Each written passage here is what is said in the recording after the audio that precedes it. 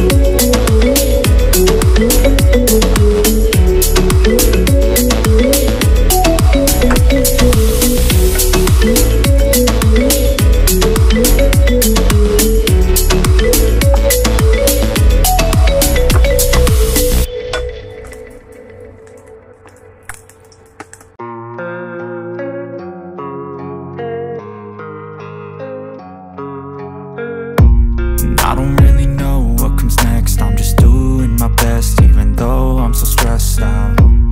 Everything just feels like a test that I fail so depressed when I can't seem to get